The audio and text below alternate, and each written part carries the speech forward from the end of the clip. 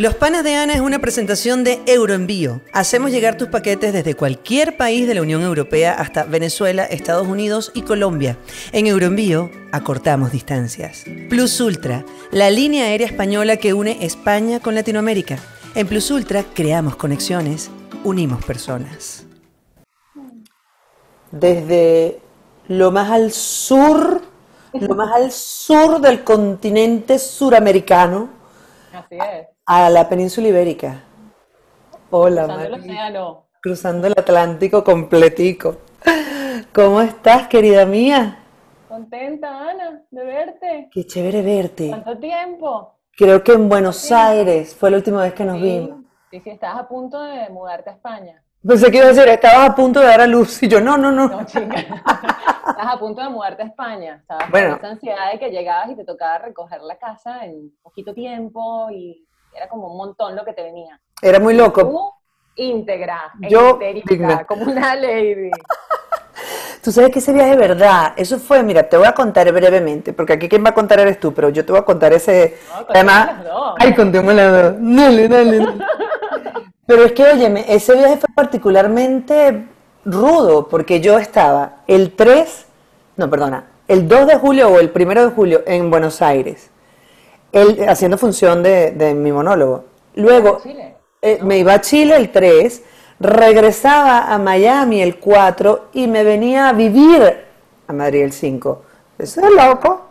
Sí, lo sé. Es- eso es de loco. Yo no, yo no sé en qué estaba pensando yo cuando organicé esa gira. Estabas, yo creo que en modo supervivencia, porque Sí. estabas como súper, como esto, lo que te digo, como entera, como Bueno, y- y como muy enfocada en Mm. lo que tenías que, en lo que tenías que hacer, ¿no? Como muy clara de, de todo lo que te venía. sí, sí, era, era muy loco. Pero bueno, fue, fue... Ana, muy inspirador verte. ¡Ay, bonita! Qué lindo verte a ti también. Me estás guapetona, te has sentado bien el sur. Gracias. Bueno, tú Sí, estás los guapa, años pero... también, nos están cayendo bien los años. Sí, bueno, a mí me han caído unos más que a ti. O sea, yo te llevo unos añitos a ti, pero No tantos, Ana, no te tam- creas.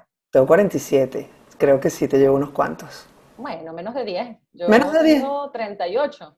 38, te llevo unos 39 el mes que viene. Yeah. Último con tres adelante. ¿Y cómo lo llevas? Porque hay gente que se, se aterroriza. No, la verdad que no. Eh, ¿Sabes qué? De- siempre he tenido amigas mayores que yo. Siempre he tenido la fortuna de esto, como de estar acompañada de, de mujeres con más experiencia que yo, que me cuentan qué es lo que viene. Y, y todas coinciden en que los 40 son la mejor década. Así que más bien estoy feliz esperándola. Es una delicia.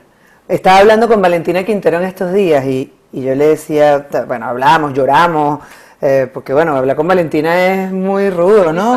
Eh, Amo cómo escribe, amo su manera de comunicar. su vida, su vida actual luego de tanta, tanta rueda, ¿no? Y de tanta vida y de tanto, de tanta terquedad, porque es lo que ella dice, soy terca, yo me quedo aquí, de aquí no me mueve nadie. Pero una de las cosas que yo, yo hablaba con ella era lo maravilloso que sería, decía yo, pero ya cambié de opinión después de hablar con ella, eh, oye, tener el cuerpo de los 30 con la sabiduría de los 50 o de los 60. Y me decía, tú estás todo loca. porque- Sobre todo porque a mitad de los 30 se, se empieza a ir el colágeno. Atrás. Exactamente. vuelta atrás. Y hasta que no se empieza a ir, uno no lo entiende. No lo entiendes. Eso no importa cuántas veces me lo hayan dicho. Amigas, eh, no. Se va a ir lo colágeno. No lo entiendes, se va. Mira, te lo puedes ¿Qué te dijo comer. Ah, bueno, entonces Valentina me dijo, eh, no, mi amor, me dijo, olvídate de eso. ¿Tú te imaginas yo, dijo ella misma, con 30 años y con el cuerpo, no, perdón, con 60 años y toda la sabiduría de los 60 años con el cuerpo de 30? Sería incalable, usó esa palabra que la amé, porque es verdad, o sea, Dios sabe lo que hace, Dios sabe lo que hace. Sí, sí. Uno se va como calmando con los años también. Ah, La no. realidad que te trae la experiencia es, es deliciosa. Mira, porque además tú te fuiste a un país, ¿cómo está? Cómo, cómo- bueno, tu familia argentina, tú eres argentina, o sea, tú eres, tú eres, tú eres. Yo recuerdo cuando las muchas veces que trabajamos juntas que tu conexión con el sur viene por la sangre y viene porque tú tienes una verdadera conexión, porque uno, a ver, la, la familia que tiene y el sitio donde nace, yo siempre he dicho que es circunstancial. Es decir, uno no tiene por qué amar al país donde nació porque simplemente nació allí. Lo que pasa es que uno le tiene amor a su país.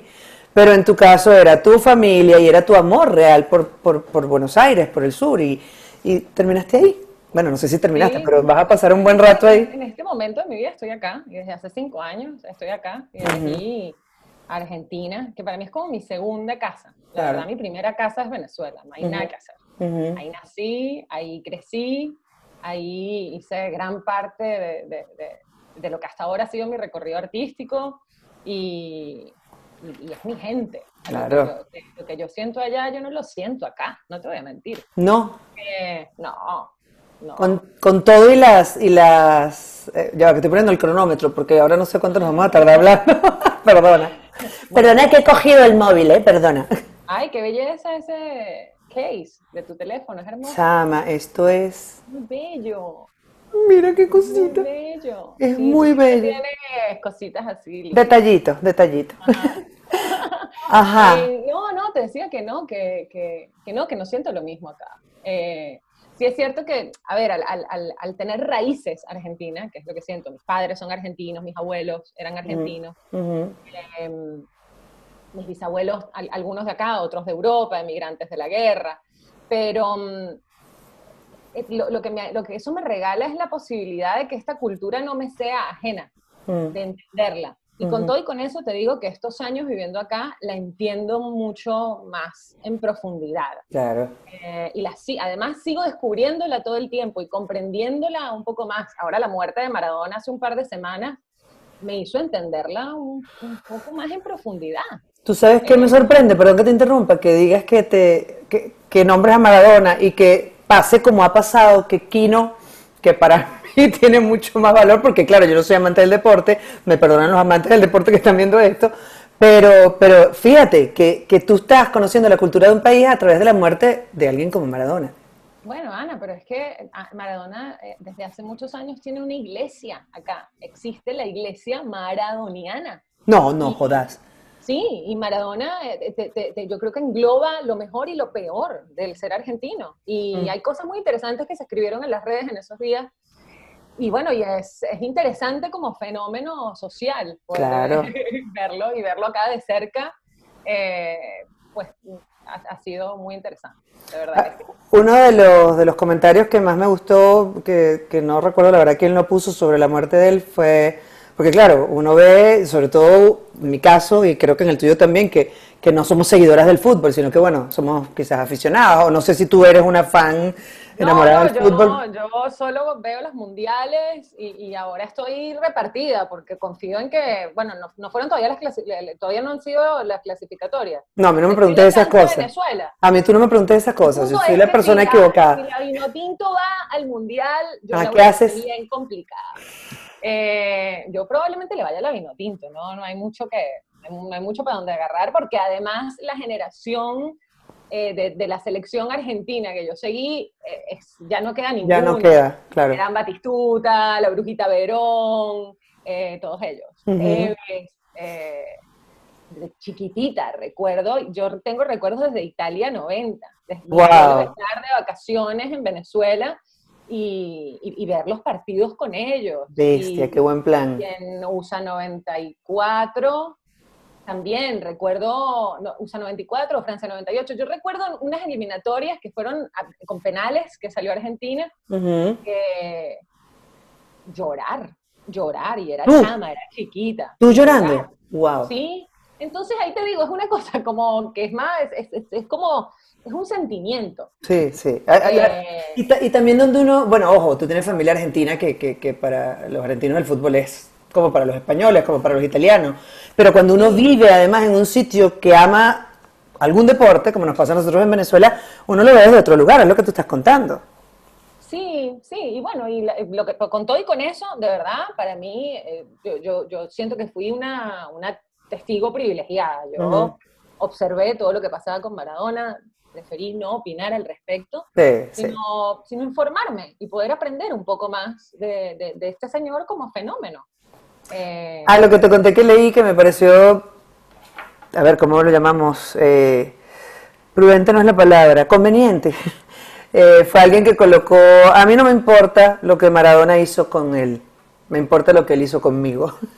y bueno, mm. Cuando ves lo, lo, positivo, alguien también dijo, si Maradona se hubiese muerto a los 35 años, eh, hubiese sido otra la historia, ¿no? porque bueno, a lo mejor hubiésemos evitado una parte de su historia que algunos con los que algunos no comulgan, pero, pero es la vida de cada quien, Marisa. Sí, no, como personaje, la verdad, que la tuvo complicada también, si lo piensas, y, nada, ¿quiénes somos para juzgar? Ay, no. A Maradona o a quien sea, ya está, es como... Mira, hablando de juzgar, Marisa Román, hay yo creo que en eso tú y yo estamos medio conectadas, porque hace un ratito hablamos brevemente antes de, antes de darle a rec acá, de, y lo hablaba con Martín Brasesco, te lo decía también, de, de lo que... Con, Martín. ¿Cómo lo amamos? ¿eh? Quiero.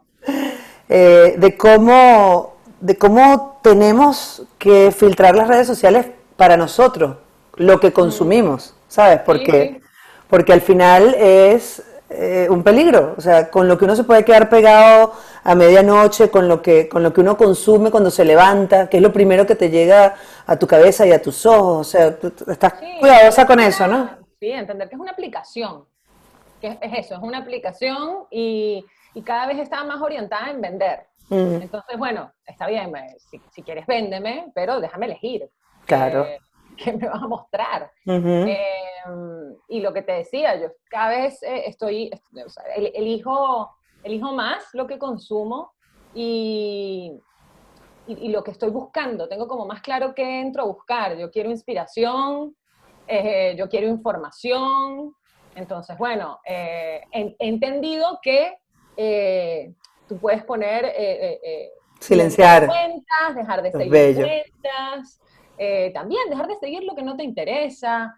Eh, y le puedes ir como enseñando, reeducas a la aplicación, vas, le, vas likeando lo que sí quieres ver, entonces te empieza a mostrar más de eso en tu feed y menos de lo otro que ella por descarte te muestra todo el tiempo.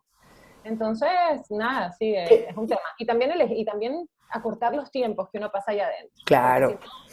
Ponerte las alarmas. Yo, yo estoy yo estoy haciéndole caso a las alarmas que puse de hasta aquí llega el día de hoy en Instagram. Hasta, bueno, yo realmente donde estoy es en Instagram, ¿no? Porque, a ver, que, que, que Instagram es mi, mi, mi, mi, forma de vida actualmente, ¿no? Y muchos vivimos de nuestras redes sociales, pero yo creo que tú no puedes únicamente vender, o sea, yo creo que tú tienes que compensar de alguna manera eso con contenido, como era nuestra televisión. O sea, nuestra televisión era, te doy una súper, te doy, te doy ciudad bendita y bueno, y comerciales, porque para ser ciudad bendita hace falta pagar la producción y para pagar la producción hace falta que haya clientes. Entonces al final... la verdad la tienes muy clara, Ana, generas un, tienes un buen equilibrio ahí entre, como que tu, tu cuenta siempre está en positivo, Tan bonito. Lo que le entregas a la gente. y es fundamental eso, generar contenido. ¿Y tú, tú has pensado eventualmente migrar de alguna manera, porque todos hemos tenido que migrar a algún lugar en donde, ¿sabes? No, nos resulta como que, cuño, me tengo que acoplar. ¿Has pensado en migrar, a lo mejor no a las redes, pero a algún otro medio en tema pandemia, en tema, a ver, no sé, ¿qué, te ha movido? Este año ha sido súper interesante para mí en cuanto a, y creo que para todos, ¿no? Para todos. Para mí, igual que a todos, eh, de reinvención también, y de, como de, de, apertura y de exploración de nuevos formatos también, ¿no? Así que estoy a eso, estoy, estoy explorándolos, no, no tengo todavía algo generado específico, pero el año pasado yo ya venía en un, en un proceso de, de, explorar otros formatos, hice un podcast con mi amigo Dani Arzola, lo vi. Eh, hicimos una primera temporada, seis episodios, fue algo para nosotros de divertirnos y hablar, y, y generó su comunidad de gente que lo sigue, que nos pide más episodios, de hecho, estoy pensando, para mí siempre fue para, para Instagram TV. Para mí eso era un contenido para Instagram TV, pero Dani estaba empeñado en que él quería que fuera Spotify. Yo insistí en que, necesitaba una cámara, ¿cómo no, íbamos a tener, cómo no íbamos a tener una cámara? Y finalmente, bueno, este, llegamos a un acuerdo y nació No te mueras nunca. Hicimos nuestra primera temporada. Me encanta el nombre, además. genial, genial muy bello todo el proceso de hacerlo, de, todas las charlas. Dani en ese momento vivía en Santiago de Chile, está ahora en Estados Unidos. Eh, este ha sido un año como muy importante para él, se mudó a Estados Unidos, se casó, pasaron como un montón de cosas. En él, es el, él es el artista plástico, ¿correcto? Claro, sí. Claro, ya. Dani Arzola, eh, sí, sí, sí. en Maracay y bueno, ahora está, está bueno, regalándole conciencia al, al, mundo a través de su arte. Correcto. Y, mm, y bueno, eh, hicimos esa primera temporada y ahora finalmente ya lo convencí y la vamos a reestrenar en IGTV. Eh, que para mí es el lugar de, ese, de, ese, de, ese, espacio. Pero es que además no es excluyente, la, idea es estar en la mayor cantidad de plataformas posibles, porque quien consume YouTube eventualmente no consume IGTV, quien consume IGTV que está en el móvil, pues eventualmente no, no oye Spotify, pero el que trota escucha Spotify. Total que hay que estar. La verdad, pero la verdad es que hace un año no tenía, y antes de la pandemia, ¿estás bien, ah, Me, me acabas de jalar el pelo con los lentes, pero todo bien. la verdad, uy, lo siento. Ya, ya, ya, hace un año, y antes de la pandemia, IGTV no tenía tampoco el, el, el peso que tiene hoy. eh, era un nuevo espacio en el que se compartían algunas cosas, pero no se generaba contenido. No. Creo que a partir de la pandemia fue que empezó esta revolución de contenido en Instagram y bueno, Instagram se convirtió en lo que es hoy, que yo creo que, como bien decíamos hace un ratito, es un espacio eh, en el que pues hay que, hay que entrar con conciencia y con responsabilidad y cuidándose a uno también de no caer en ese hoyo negro y no salir nunca más. Correcto. Y elegir, creo que esa es la clave, elegir. Entonces, bueno, eh, sí estoy, esto es lo que te digo, vamos a relanzar No te mueras nunca. Eh, estuve este año eh, explorando lo que yo llamo el Zoomatro, que no es teatro, pero bueno, es teatro por Zoom. Eh, ¿Cómo te fue? ¿Cómo te fue? Porque a mí me resultó rarísimo. Yo hice uno solo con Water People. Ajá, ¿qué hiciste?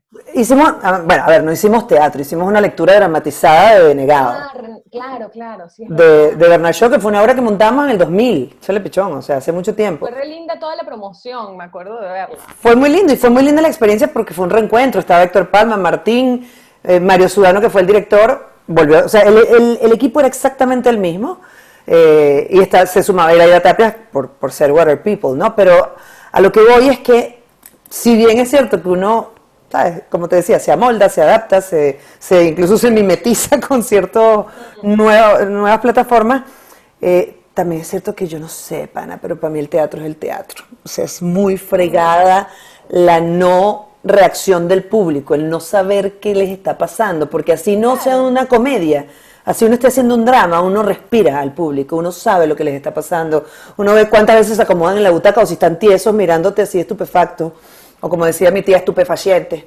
¿sabes? Pero, pero no sé, ¿cómo te fue a ti? Es que yo creo que lo que se trata es eh, de de flexibilizarse y de encontrar como tu voz en ese espacio. Eh, no como de, igual que con Instagram, ¿no? De tratar de encajar ahí o hacer algo como lo que todos están haciendo o que encaje, sino de encontrar de qué manera tú funcionas ahí. Esa es la oportunidad que para mí se presenta incluso con esto, hablando específicamente, de, hablando de todo, pero si hablamos específicamente de esto de hacer sumatro, pues es eso, primero entender que no es teatro. Claro. Eh, pero mi experiencia, la verdad, eh, fue ha sido, porque ya llevo, llevo tres, dos montajes y una lectura dramatizada. Eres una bárbara. Y, fue increíble, la verdad es que fue maravilloso. Dame, dame un chance. ¿Que te, vas? ¿Vas al baño? No, chica. Ah, no, no, no, no, no, voy a ir. Pero es que me di cuenta que tengo algo abierto. No sé si se mete el ruido, pero bueno, seguimos. Porque no, no, se, no se ha metido nada, a ver, ¿no? Pero, nada, te decía que eh, que para ti fue una experiencia súper buena. ¿Sabes qué es lo que más me ha sorprendido? Es cómo eh, la, la, la, sensación en el cuerpo es muy similar a la de, a la a de hacer teatro. No sé si fue, mm. si te pasó algo parecido, pero para mí, para mí, el, la, esa, esa, empezando por ese pensamiento que me entra dos horas antes de la función de, ¿para qué estoy haciendo Sí, sí, se me va a ir la letra. ¿En qué momento a mí me pareció que esto, yo dije que yo decidí que esto era una buena idea? ¿En qué momento? ¿En qué momento? Es, este primer momento como de... Ah", y después ya agarrar y decir, bueno, ya, salgo de esto, esto no se trata de mí, esto es algo más grande que yo, lo bello de esto es que lo, estamos eh, llevando la vida a un grupo de gente y, y, lo bello es que vamos a conectar con un montón de personas y como, bueno, toda esta previa, empezar a prepararte.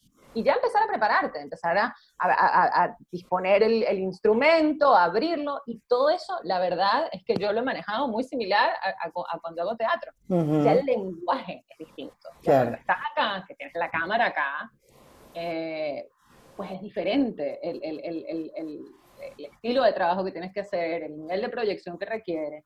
Eh, pero para mí ha sido un, un, trabajo de exploración interesantísimo. Divino, para ti, qué chévere. El, encontrar de qué manera, poder jugar lo más posible con el recurso de la cámara, eh, descubrir que puedes conectar igual con el otro actor sin importar lo lejos que estén. Yo ahora acabo de tener una experiencia bellísima, hice, hice una lectura dramatizada dentro del el primer festival de, de dramaturgia iberoamericana en confinamiento. Wow. Y, fue interesantísimo. el, espacio lo generó Esquena y leímos una obra de una autora española y tuve la dicha de volver a trabajar después de más de 10 años con Basilio Álvarez. Qué rico. Era una comedia además y yo sentía que para mí eran clases, era un regalo tan grande estar trabajando con Basilio.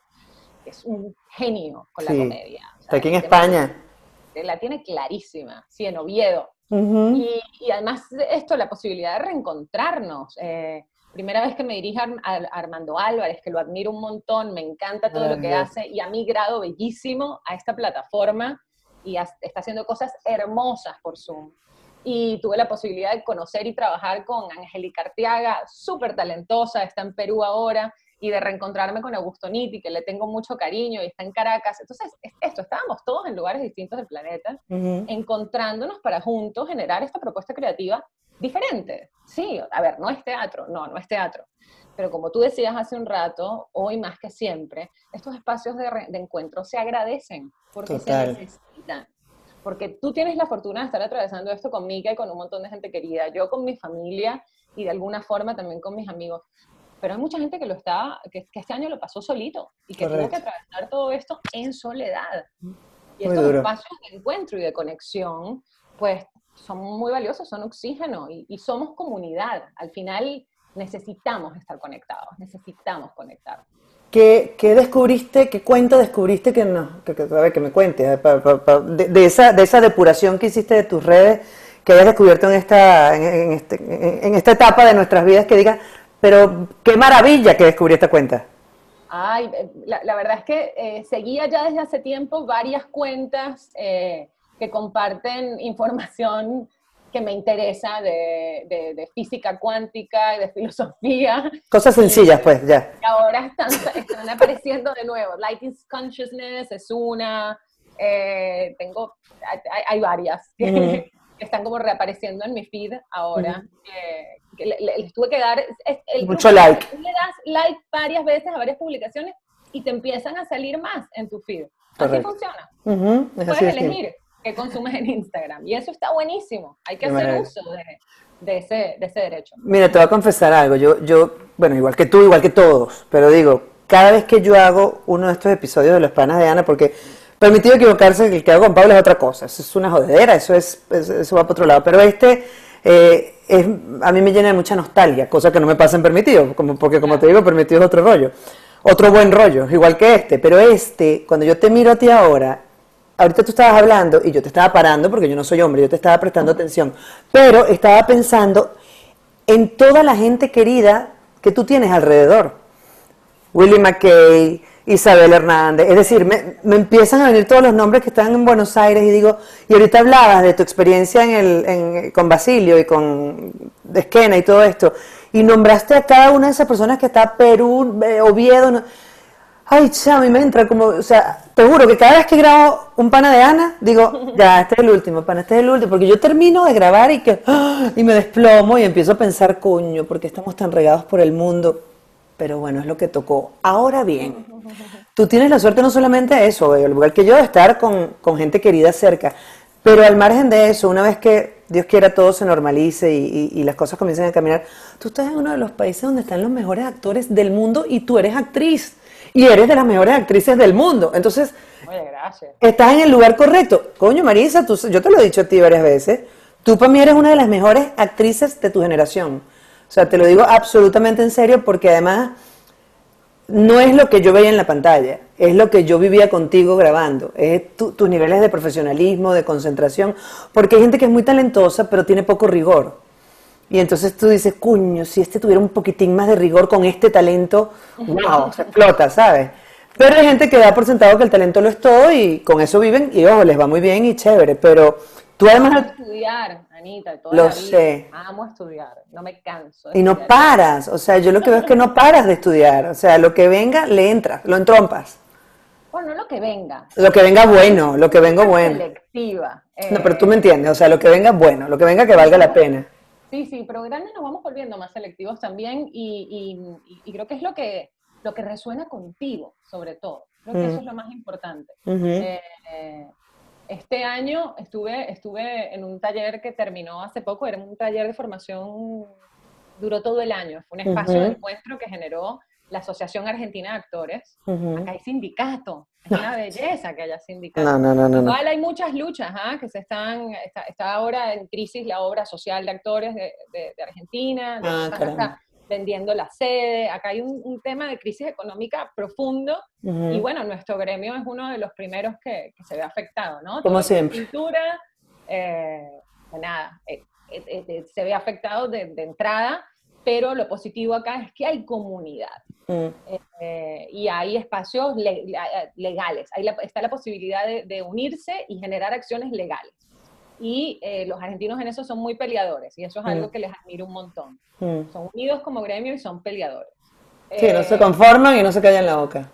Sí, sí, sí. De hecho, nada, hay, hay, toda una movida, se hizo una movida grande para empezar a abrir los teatros y ya están empezando con mucho protocolo de, distanciamiento y respetando pues todas las medidas. Ya se están filmando comerciales también, se está empezando a filmar, pero con mucho, con, bueno, con todas las restricciones y las medidas para garantizar la salud de, todos de, todo el equipo. Claro. Como tiene que ser. pero, pero bueno, el gremio se, se ha visto muy afectado y eh, una de las iniciativas que tomó la, Asociación Argentina de Actores este año, al principio de la pandemia, fue generar un espacio virtual con una profesora que yo, ya, yo había hecho un taller ya con, con sus pupilos el año pasado de bioenergética para actores, que es una herramienta que hace un par de años acá en Argentina y es interesantísimo. Desarrolle su respuesta. Dale. Ah, bueno. ¿Qué es eso? Eh, bioenergética para actores, bueno, bioenergética en general. Eh, es, una es una técnica que, lo que hace, lo, que te permite es, eh, la, postura básica es el enraizamiento, que es eh, la conexión energética con la tierra y el, desbloqueo energético del instrumento. Eh, o sea, te desbloqueas energéticamente para estar presente y conectado, permitiendo que fluya la energía y en esa medida, pues estás menos en la cabeza, estás más conectado con lo que sientes, con, el cuerpo, con el instrumento, que es al, final el que tiene toda la sabiduría, es el cuerpo. Totalmente. Eh, entonces, nada, es re valiosa como herramienta. La, empecé a explorar hace, hace como cuatro años con la terapeuta que trabajo, porque acá en Argentina otra de las cosas que hay increíble. ¡Oh, sí! Terapeutas. En este me no, ella es terapeuta argentina, y yo le digo, ella es una redundancia. No, bueno, hay, hay, muchos. Es el país del mundo donde más hay por, por, por, por Per cápita. Eh, y los ama, además. Más terapeutas hay. Hay de todo, como pasa, yo entendí eso cuando vivía en Nueva York. Cuando más hay, también encuentras más malos también. Claro, claro. Pero tú vas a terapia. Al teatro en Nueva York era algo que no podía creer y, hay, hay mal teatro en Nueva York. Por supuesto. Y acá también hay malos terapeutas. Yo tengo la dicha de trabajar con una que es una genia, una capa, y ella, capa es como... Es, como el top. Capa, es genial. Y ella trabaja, imagínate, con herramientas alternativas, trabaja con bioenergética, trabaja con astrología, eh, trabaja también con coaching ontológico, trabaja con un montón de cosas distintas. Y en eso resueno mucho con ella, porque a mí me gusta eso, agarrar como distintos lugares y armar lo mío. Eh, y es un poco lo que, y con ella aprendí eh, esta, esta técnica, la bioenergética. Y el año pasado hice un taller presencial en, en, la Asociación Argentina de Actores y este año generaron un espacio virtual que fue hermosísimo, éramos más de 50 actores conectados por Zoom, wow. haciendo, encontrándonos todos los lunes a hacer un entrenamiento de bioenergética. y, y, para el actor es una herramienta muy valiosa, muy, muy, muy, muy, muy valiosa. Porque, bueno, porque te conecta y, te permite es, es, valiosa para todos, la verdad, pero para, para, el actor yo la encuentro especialmente valiosa porque te saca de ti. Mm te saca de ti y te conecta con el, con el lugar y con el otro, eh, que al final es donde está, donde está de verdad el trabajo. Eh, yo creo que los actores a veces se pierden mucho en sí mismos y en sentir y en todo eso. Intensidades. el trabajo eh, no es transparente, no es honesto. el trabajo honesto y más profundo yo he descubierto, nada, requiere mucho trabajo y mucha preparación y eso es lo que, Ojo, que, que, hay, que hay actores de actores, ¿no? Y con, quienes uno ha trabajado, actores que, que se quedan pegados en el personaje, que, que, no lo sueltan, que dicen corten y siguen, ¿no? Y eso va de largo.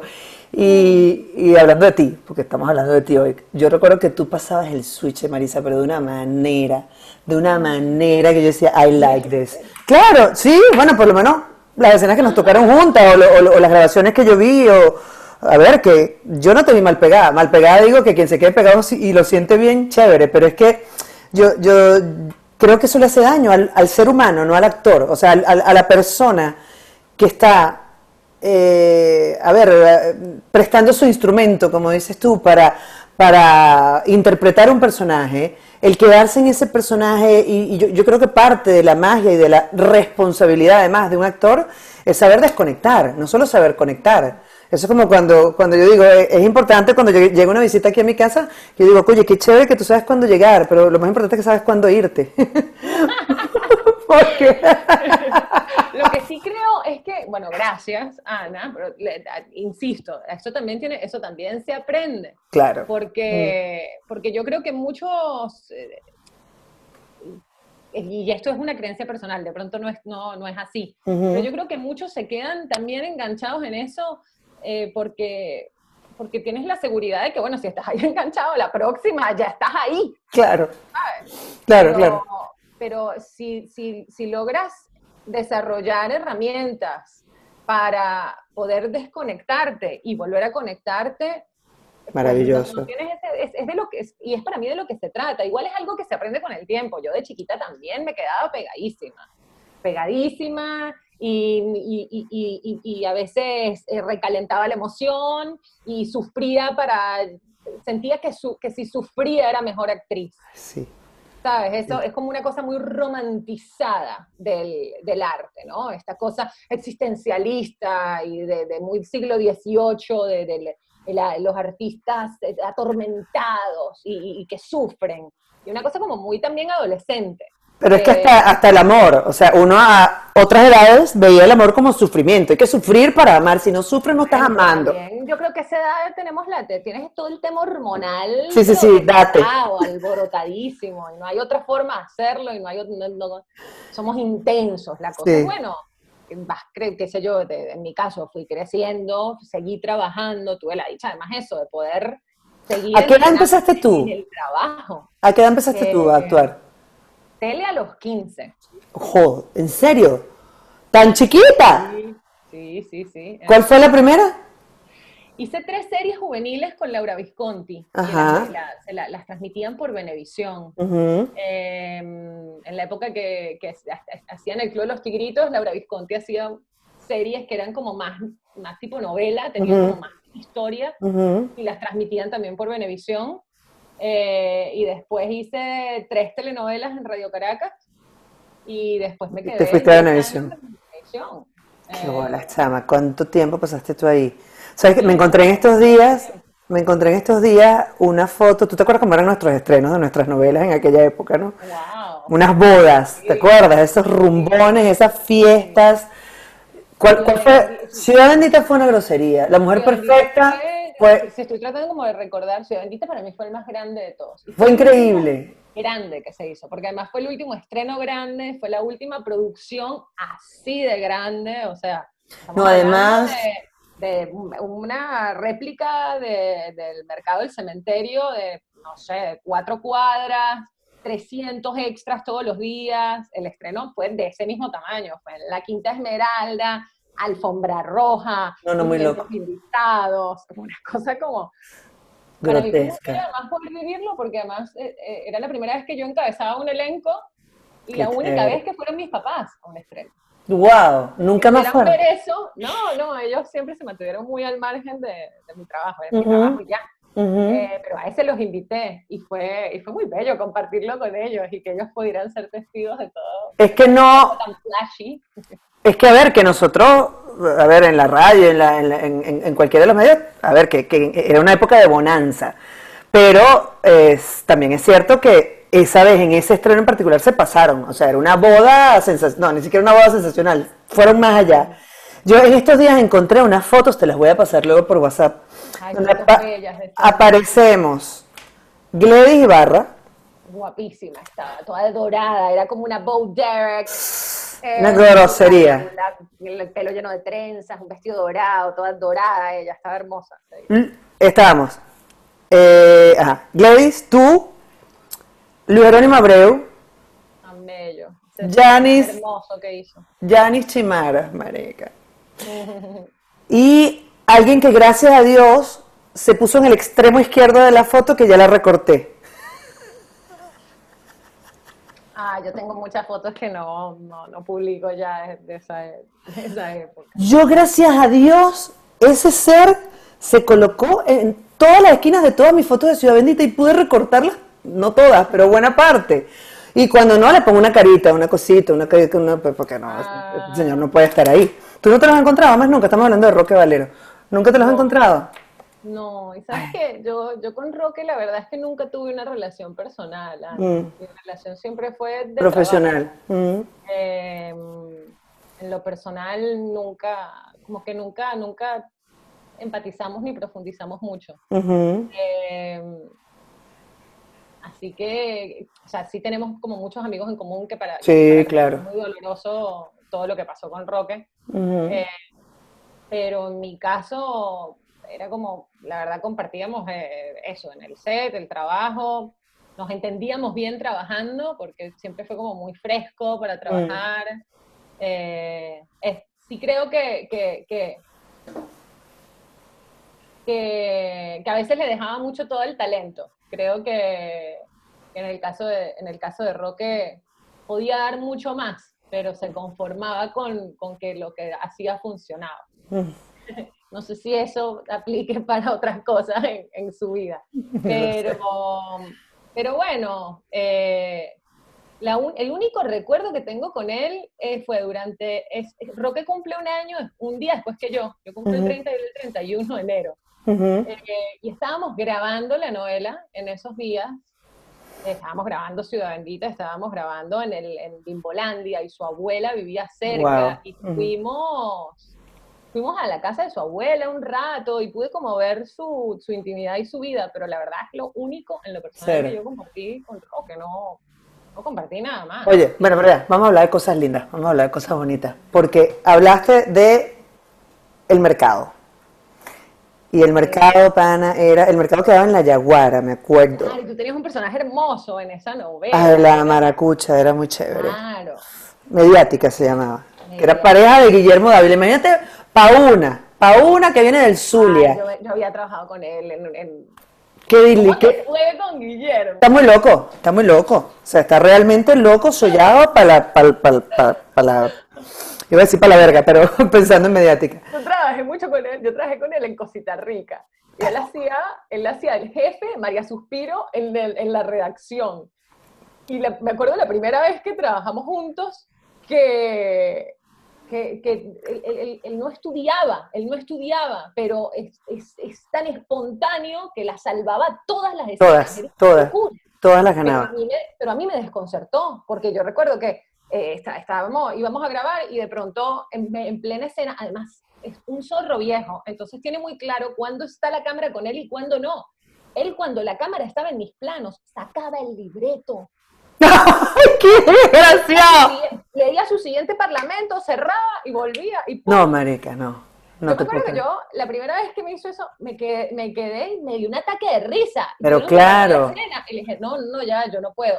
Y bueno, la verdad es que como soy tan nerd, yo, yo logré que Guillermo Dávila estudiara. Nos juntábamos antes de nuestras escenas, le decía, Guille, por favor, te lo pido. Nos juntábamos antes y estudiábamos, leíamos un rato. Re buen compañero. Es una nota de compañero, una nota. Él me dice un día en el camerino, eh, Ana, tenemos que inventar, porque él y yo éramos esposos, él era, yo, yo era maracucha y él era como que me complacía en todo y no sé qué. Y, y él me dice, tenemos que inventar, y yo era enemiga de su exmujer, que era Alba Roversi.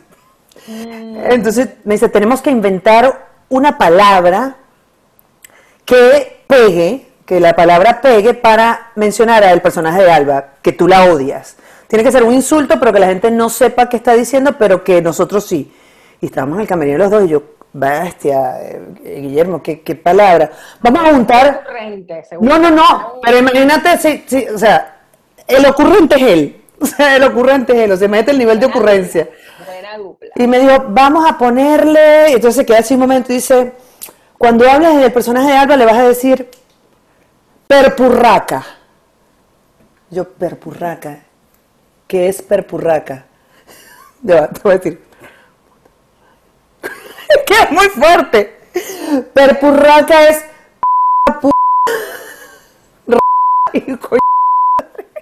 Perdonen el francés, pero. Alto francés. Alto francés. No veas esto. No, mi que esto, esto, de hecho, le voy a poner pitico acá. Pero leanme los labios. O sea, y era perpurraca. O sea, es, es, es, un tipo genial, lo que tú dices, es un tipo que no para, que está todo el tiempo dándole a la cabeza, es hiperkinético además. O sea, no se queda quieto. Divino, divino, divino. Mira, yo recuerdo también, yo súper disciplinada con mis secuencias. Ajá con todo, la verdad, siempre he sido muy disciplinada. No, no, no, tú eres una cosa del más allá. me, me, pasaba que, que, las, scripts, las scripts me decían, ¿dónde es que van las cosas? Ya confiaban tanto en mí que ni anotaban. no, por favor, anotes, no confías en mí. Porque eh, tú, tú llevabas la, la, tu record, tu, la secuencia de tu vestuario. Sobre todo, claro, pero para mí eso siempre fui así, siempre, desde chiquitita pero me entrenó mucho Cosita Rica, porque tenía que tener la secuencia de dos personajes. Entonces yo usaba bolsitas click para los accesorios de cada una de ellas y los colgaba. Desarrollé un sistema que funcionaba y después lo seguía aplicando, obviamente. Claro, claro. desarrollado. Entonces, bueno, confiaban un montón en mí. Guillermo, me acuerdo que llegó un día.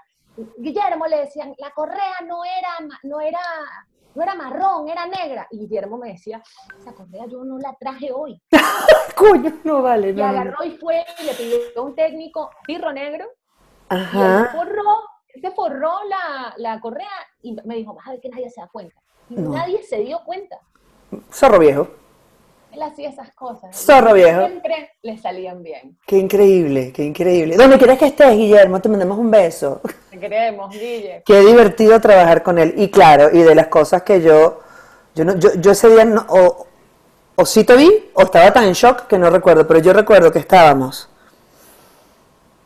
Fíjate que no recuerdo quiénes estábamos, pero sé que estaba Guillermo García en el motorhome llegando a la grabación del último capítulo de de Ciudad Bendita el día que mataron a Yanis.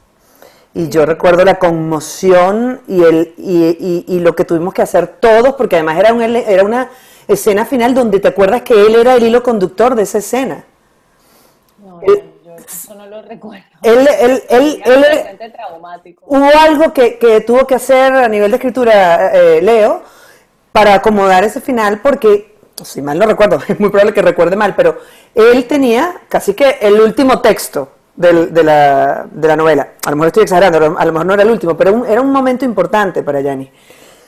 Y yo lo único que recuerdo es la conmoción de todos. Eh, eh, eh, es que parecía que Dios había, bueno, Dios siempre mete la mano en esas cosas, pero quiero decir que el día de la, de la, de la grabación del capítulo final, de además de un personaje para Yanis tan importante, tan... Sí, fue, para, mí fue, para mí fue una bendición poder conocerlo y trabajar con él en, esa, en esta novela, porque además, como bien tú dices, fue, fue un, personaje Increíble. importante para él. Ay, sí, qué hermoso personaje. Que además se lo gozó mucho, se lo gozó con todas las letras, hasta le hizo una canción y él estaba disfrutando de verdad.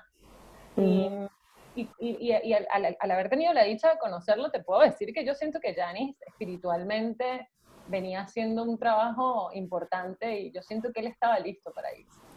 Te digo con honestidad. Pues me pero Yo siento que él estaba listo para irse. Eh, fue muy doloroso para todos, fue muy doloroso. Y, y puso además, al menos para, para, mí lo que te puedo decir es que me puso las cosas en perspectiva. Yo recuerdo que el día anterior estábamos todos pensando, ¿y qué vamos a hacer para celebrar el capítulo final? ¿Pasarlo? ¿Qué, qué? La verdad es que estábamos en ese plan el día anterior, pensando dónde íbamos a verlo, uh -huh. que, que, dónde nos íbamos ¿Qué a, a hacer? Exacto. Y, y, al día siguiente, a mí, me, a mi Caro Acosta, gran amiga en común que tenemos, uh -huh, uh -huh. Una, una, venezolana, escritora, orgullo nacional. Es la amiga más inteligente que tenemos tú y yo, es la más inteligente. Yo siempre digo, sí, yo no tengo una amiga más inteligente. La más preparada y, y, y, la más amorosa, para mí es, es, es un ejemplo de mujer. Claro, sí. Es como uno de mis ejemplos de mujer en, en, en la vida. Además, cuando hay huracanes, te cobija en su casa, es una belleza. Claro, es, es, hermosa. Y bueno, y durante más de 10 años he estudiado, durante no sé, 15 años, he estudiado las novelas de Leo, desde hace muchas novelas, y todos nos hemos conocido, to todos la hemos, tenemos, tenemos la fortuna de conocerla gracias a, a su trabajo de investigación. Eh, entonces, si quieren, busquen el libro, tiene varios libros, pero tiene uno que se llama Venezuela, es una telenovela. Carolina Acosta al Sur se llama. Es una belleza. Eh, entonces, bueno, eh, Caro fue quien me dio la noticia esa mañana. Wow. Y, ah, tú no estabas en el set. Fue súper amorosa y, y, y, bueno, nada, habíamos estado hacía pocos días compartiendo las dos con Yanni en la Yaguara y nos habíamos matado de risa los tres. Había, o sea, tuvimos como un momento súper lindo un par de días antes. Uh -huh. eh, entonces, bueno, agradezco que haya sido Caro quien me dio la noticia. Y yo lo, el recuerdo que tengo de ese día es fue en el estudio, porque teníamos una escena que íbamos, que estaba todo el elenco, estas escenas del capítulo final, que estábamos uh -huh. todos juntos. Uh -huh. Y Estamos todos juntos y ninguno hacía nada. Típico. Estaba, eh, no recuerdo muy bien qué era lo que se celebraba, pero bueno, eh, estábamos todos juntos, seguramente era algo de Juan Lobo y la música, seguramente mm. era algo así. Eh, pero lo que más recuerdo es que estaba Leo en el estudio, que, mm. que no, era, no es algo habitual. Mm -hmm, ¿verdad? Leo, tenía, Leo había escrito unas palabras finales para dedicarle el capítulo a Yanni. Y Leo, bueno, lo grabó y después de que fue lo último, terminamos de grabar la escena, Leo grabó este mensaje y fue como el final fue el mensaje de homenaje a Yanni. Y bueno, nos abrazamos todos y lloramos y fue como, de verdad, fue guardar, como tirar todo, o sea, para mí fue entregar todo el vestuario de, de Bendita, o sea, yo bajé a vestuario, entregué todo el vestuario que tenía de meses acumulado en el camerino. Uh -huh. eh, y me encontré con Laureano, que hacía mi hermano, Laureano Olivares, uh -huh. y nos montamos en el carro y nos fuimos todos juntos encaravanados al cementerio del Este wow. para abrazar a la familia de Yanni. Uh -huh. Ese fue el final de, de, Ciudad Bendita. Como esto, ¿no? Eh, Además que Leo... ¿no? Que es lo realmente importante en la vida. Es como... Además que Leo, es una tristeza muy grande tenerlo tan lejos ahora, ¿no? Pero porque se le extraña, se le extraña mucho. Ay, qué bello es. Yo lo vi sí. el año pasado, la Elia Mariaca, lo compartí con ellos en DF en México y fue delicioso, como si no hubiese pasado el tiempo. No, no, no, es que ver a Leo, tener a Leo cerca es una delicia. Lástima que ahora no está, pero el punto. Eh, Leo sin, a ver, o sí, o dándose cuenta, él al final, a lo largo de toda su trayectoria como, como escritor en Venezuela, se encargó de unir y de crear unos vínculos entre nosotros como actores imborrables. O sea, esto, lo que nosotros vivimos en ese momento de bonanza, de, prosperidad, de creatividad, un momento donde, eh, sabes, apenas comenzaba el desastre de, la ley Mordaza y de todo esto, de empezar a tener que callarte la boca y no poder decir lo que quería. Porque Leo además como escritor vive una época deliciosa, pero nosotras como actrices, y tú sobre todo, que hiciste, ya, ya con cositas ricas, tú te puedes retirar. ¿Sabes? No digo porque es... No, casi no tenía ni 25 años. Yo sé, es un decir, es un decir. Una fortuna poder hacer esa novela siendo tan joven. Y, y esos y personajes. Y un, después. Y Leo, y Leo se ha encargado a lo largo de su carrera de, de, darnos ese regalo a muchos actores. Yo también empecé, a, bueno, yo, no sé si tú empezaste con Leo, pero yo, la, yo empecé con Cosita Rica, un personaje pequeñísimo que era la, la um, psicóloga de... No, no, no, hice otros ah. antes, pero muy chiquitica. Ah, Los okay. últimos héroes. Otra... No, no, pero el primero de una novela de Leo okay. fue Cosita Rica. Y era la psicóloga de. Eh, ¿Cómo se llama? De Olegario. Era un, un vacilón. Imagínate. Él tenía problemas. ¿Qué hiciste? Cuéntame. No, gracias por invitarme a tu programa. No, es Estoy curiosa. Primero yo hice una, ¿cuánto tiempo nos queda? Porque si no, Instagram nos corta. Vérciale. Cállate. Cállate, ya no, no, no vamos a cortar, pero tenemos que apurarnos. Mira, rápido, yo primero hice, lo primero que yo hice fue una novela que se llamó Rubí Rebelde, donde yo hacía Cormotico, que era un personaje que era nieta de eh, Jorge Palacios. Tenía 14 años, 13 años. Yo, en estos días me llegó una grabación de eso y yo Ya me te estoy pregunté. escuchando, pero ya va que tengo que contestar un mensaje porque tengo un ensayo ahora. Ah, no, no, no. Se nos fue el tiempo bellísimo. Y ya nos vamos- y ya- Avisar- Déjame avisar que voy tarde. Lo peor es que cuando empezaba, cuando le di rec, te dije, oye, esto puede durar máximo una hora porque Instagram lo corta, pero no creo que lleguemos a una hora, nunca llegamos. Y miren, ya vamos por no sé cuántos minutos, casi 50. Mira, dice que cinco minutos, así que... No, es que no podemos más de cinco minutos, ya, ya te vas. dale, cuéntame, cuéntame, cuen- resúmeme. Rápido, hice ese personaje, en, en estos días vi una grabación y dije, era para retirarse. O sea, después de ese trabajo que yo hice, yo me debí de retirar. Pero bueno, uno, uno es consecuente, insistente, y me puse a estudiar y dije, esto no puede ser. Me fui con Enrique Porta, el taller del actor, el TNJ, toda esa vaina. Y luego hice Los Últimos Héroes, que fue la miniserie con Menudo, que tenía Claro, qui- claro. 15 años. Después, me encantaba, el- el- el- había un personaje de una mudita, ¿puede ser?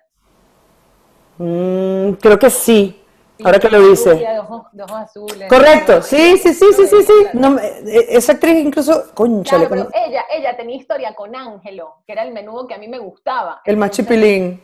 Claro, entonces a mí yo quería ser la mudita, pero porque tenía historia con Ángelo. Pero bueno, eso fue todo. Pero lo que iba con, con- con las novelas de Leo, la primera novela seria que yo hice fue Cosita Rica. Y además tuvo que ver con un encontronazo que hubo entre Leo y yo en radio, porque yo era de las tuyas, pero de las tuyas peor. Yo decía, yo hago teatro, pana, yo no necesito la televisión. Eso, eso, eso es de actores de tercera, de, de- quinta. Eso, eso no, los actores de teatro no hacemos televisión. Y Leo me retó y me decía, tú vas a hacer novelas y vas a hacer una novela mía. Yo le digo, tú estás loco. Una vez, no me acuerdo si fue que lo invité al programa, a mi programa yo hacía radio, y no me acuerdo si fue que yo lo había invitado al programa de radio o nos juntaron a los dos en un programa de una tertulia, una cosa, la verdad no lo recuerdo bien. Pero recuerdo que él me retó, y bueno, tan me retó que hicimos cuatro novelas juntos, ¿no? Y es que uno le agarra el gustico. A mí me encanta, de verdad. No reniego de la televisión, creo que es una gran escuela. Creo que en, mi recorrido ha sido, ha sido importante. Eh, sí es cierto que también eh, corres el riesgo de enviciarte, ¿no? De, de- digo, de, de llenarte de vicios actorales porque tienes que resolver en muy poco tiempo muchas cosas. Es una gran es un gran entrenamiento para la memoria, para Guau. resolver, para resolver, inclusive tú no puedes llegar con un problema al estudio, tú tienes que llegar con soluciones. Correcto, correcto. hay que, hay, que, hay que grabar, no hay otra opción, hay que grabar, y hay que grabar mucho. Y hay millones de, en aquel momento, bolívares jugándose en cada minuto que se tardan.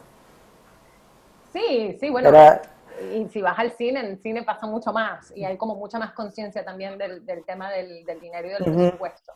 Eh, que bueno, ahí también tuvimos la dicha de, de coincidir en Bestia, uno de mis proyectos favoritos hasta ahora, eh, Eso sí que es una suerte haber estado ahí. Cero, de Diego Velasco. Eh, y pero para cerrar la idea de, de lo, de, de- lo que hablabas de Leo, eh, Leo armó una familia creativa. Y Yo me Totalmente. siento muy afortunada de ser sí. parte de esa familia. Ay, no, me da me da mucha alegría que él ahora esté haciendo que crezca esa familia en, en- en México. Y porque está, está haciendo un trabajo hermoso eh, y está siendo reconocido en una de las industrias de la televisión más importantes del planeta y de verdad se lo merece. Totalmente. Además que pareciera impenetrable esa, pareciera impenetrable esa, esa, esa meca, ¿no? Porque sí que es personas- sí, pero pocas personas son tan comprometidas como Leonardo y tienen tanta conciencia del, del- del impacto social que puede tener una Ujú, telenovela. Y en ese ujú. sentido son responsables. Leo es responsable con las telenovelas que hace. Él no hace tele solo para entretener. Y, y bueno, y eso, y, y por eso para mí siempre, siempre e- era, era, una, era, era un privilegio y una, y una delicia y una fortuna trabajar en, en sus novelas. Porque Maravilla. tipo aparte de ser brutalmente talentoso, muy creativo y de, y de, y de desafiarte como escritor con lo que escribe. Y de además eh, poder incluir la poesía en, en lo, que, en lo que hace. Ay, sí, qué delicia. Eh, sí, nada, es delicioso trabajar con Leo y hacer mujeres escritas por él. Ay, no, sí, sí. Aquí estamos, Leo. Aquí estamos tus amigos cuando vuelvas porque te queremos. Aquí cuando estamos. Quieras, cuando quieras, vamos a donde Cuando quieras. quieras, tú nos dices, ahí No estamos. es Patria o muerte, ¿tú me entiendes? Bueno, eh, tu ensayo e Instagram que nos va a cortar, eh, nos están casi que implorando que nos despidamos. Yo me hubiera Ay, quedado aquí media hora más, la verdad te digo, Mema. Sí. Pero- esta charla. Eh, Y ¿sabe? los temas que nos quedaron guindando. Joder, sí, un montón, un montón. Pero me alegra verte, saberte bien, saberte en un lugar donde estás feliz. Yo creo que cuando uno, cuando uno encuentra su, su lugar en el mundo, eh, a ver, que, que- que el, que el entorno no te define, pero ayuda. ¿m? Cuando uno encuentra un sitio Sí, no amable. que este sea mi lugar en el mundo aún, la verdad. Pero, Pero es el, que, es el de ahora. Pero es el de ahora. Está, está bueno, estoy contenta de, de poder estar disfrutando a mis padres, poder Claro. estar cerca de ellos, Claro. poder eh, estar eh, compartiendo con mis hermanos desde como en otra edad de nuestras vidas, reencontrarnos desde, desde un lugar más adulto. Eh, y, y he hecho buenos amigos acá y como bien tú dices, siento que es un lugar eh, amoroso para, para los actores y un, y un lugar inspirador también. ¿no? Claro. seguir creciendo. Así que en este momento agradecida de estar acá, pero yo feliz de seguir. Claro, dando vueltas. Sí. Bueno, te espero en Madrid, de momento te espero aquí. Aquí tú sabes que pasan cosas muy chéveres. Ya- ya Además aquí, en además. Te voy, te- ay, sí, es una delicia esta ciudad, pero te voy a decir algo, para las actrices, eh, yo porque no me he puesto, pero aquí hay una apertura con el tema de los latinos en las series que tú aquí serías muy bienvenida, así que Ay, tan bella. think about it, ¿ok? Lo, lo- lo tendré presente, no lo pierdo de vista. Te mando un beso muy grande, Marisa, qué gusto verte. Sí, Gracias por tu, tu, tu buena onda siempre. Desde que te vi en Argentina, recuerdo ese abrazo con, coño, con especial cariño y espero que nos lo demos pronto otra vez. Que así sea, que la Dale, amor. pronto nos vuelva a encontrar Eso va a pasar, en va a pasar esquina del planeta. eso va a pasar pronto. Oye, y si es Madrid, Aquí hay un albariño, un albariño que lo podemos que tomar sabe juntos. que, que sabe que ya no tomo alcohol, pero que, que si no has ido, si no has ido a probar las Ajá. tortillas de pez tortilla, ¿sí? en, en, en, en, en Chueca es. Puede Ah, ser. no, en Malasaña, en Ajá. Malasaña. En Malasaña ve a pez tortilla. Ah, se llama así el sitio. Y ellos no me pagan por esta publicidad, pero ve a probar las Pez tor- tortilla. Y el sitio se llama Pez Tortilla. Pez tortilla, se Vale. llama, en Malasaña. Di- listo, listo, Ve allá y iré. después me cuentas. Ok, te mando una foto desde allá. ya lo noté. pronto, Te quiero mucho, Marisa, que sigan los éxitos. Beso que te- grande. que sigas igual la- de bien, gracias. Beso. Tú también. Chao. Los Panas de Ana fue una presentación de Euroenvío. Hacemos llegar tus paquetes desde cualquier país de la Unión Europea hasta Venezuela, Estados Unidos y Colombia. En Euroenvío acortamos distancias. Plus Ultra, la línea aérea española que une España con Latinoamérica. En Plus Ultra creamos conexiones, unimos personas.